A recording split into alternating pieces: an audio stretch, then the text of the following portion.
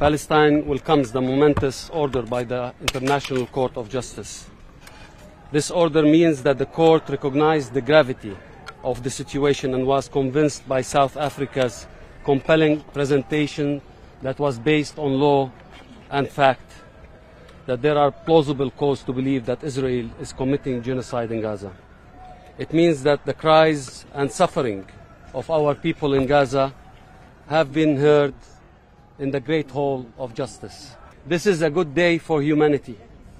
This ruling is in favor of international system based on law and ag- against exceptionalism and double standards. It should be a wake-up call for Israel and its enablers.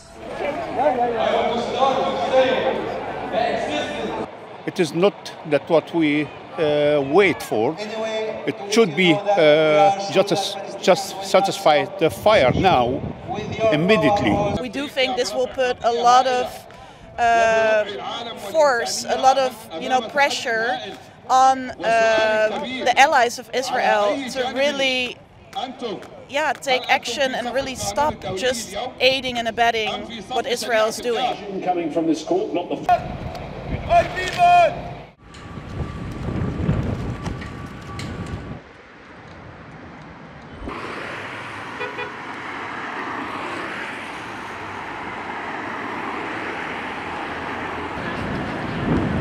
You can see here that uh, the amount of pressure that is uh, put to bring the hostages back. I don't know if that specifically will bring them back. I think the pressure needs to be put on Hamas.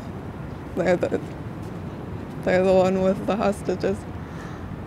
I think this is par for course uh, for the international community to place this level of scrutiny on Israel. And uh, I think it's a question that people should ask themselves. Why is uh, Israel, a country that is trying to secure its borders and defend itself,